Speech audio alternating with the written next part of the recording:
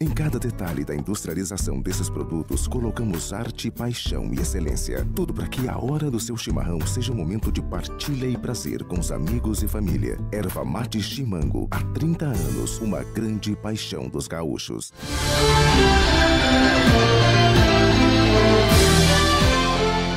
Confira agora as principais notícias da região no Expresso Regional.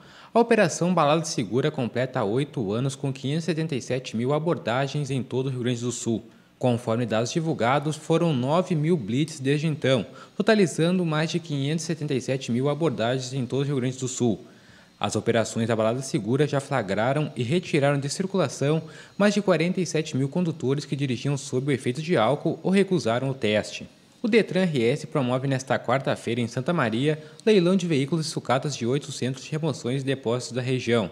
O leilão começa às 10 horas no Parque Hotel Marotim, na BR 287, no quilômetro 239, número 1981. E após perseguição realizada na madrugada desta segunda-feira, a Brigada Militar prendeu um homem apontado como sendo um dos líderes de uma facção criminosa que atuava na região. Drogas, armas e munições também foram apreendidas durante os trabalhos de hoje.